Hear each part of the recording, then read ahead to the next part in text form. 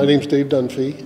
Um, I've got my I've got three centers in the Houston, North Houston area. What I enjoy about Perning is it brings um, growth for our customers. It helps people succeed. It gets them noticed. What I love about the business itself is I like building things, and to grow the business, hire employees, uh, and create a great organization within AlphaGraphics is is just keeps gets me wake up every morning excited to go to work.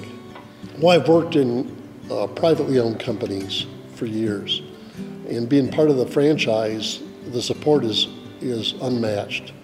You have owners that you can reach out to with questions. You have softwares that other companies spend hundreds of thousands of dollars on, and we, we get access to all that software. The support from MBE is just taken to a whole nother level.